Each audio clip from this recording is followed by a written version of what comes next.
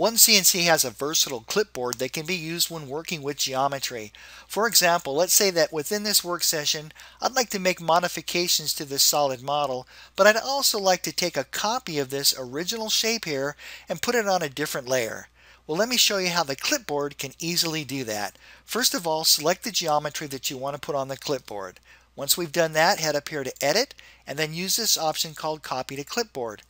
Now that's it. You now have a copy of this geometry on the clipboard. So for example, I can make a change to this.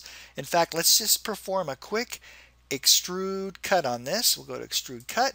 I'm going to grab this boundary here and just pull it over like that. That looks good. Let's turn that layer off. So I've made changes to this geometry, but remember I have the original still on the clipboard. So I can come up here now and say edit, paste from clipboard. And in fact, we can even put it on a brand new layer. In fact, I'm going to make a new layer here called original. Of course, you can name it anything you'd like, but I made a new layer called original bracket. As soon as I click OK to that, one CNC creates a new layer called original bracket, and you got it. It has the original geometry on that.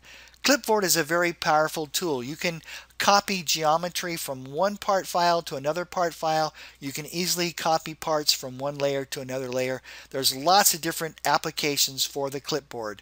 You have copy to clipboard, cut to clipboard, and paste from clipboard. Take a look at it. You're going to find it's a very powerful feature within OneCNC. Thanks for watching. I look forward to seeing you in the next tip of the day.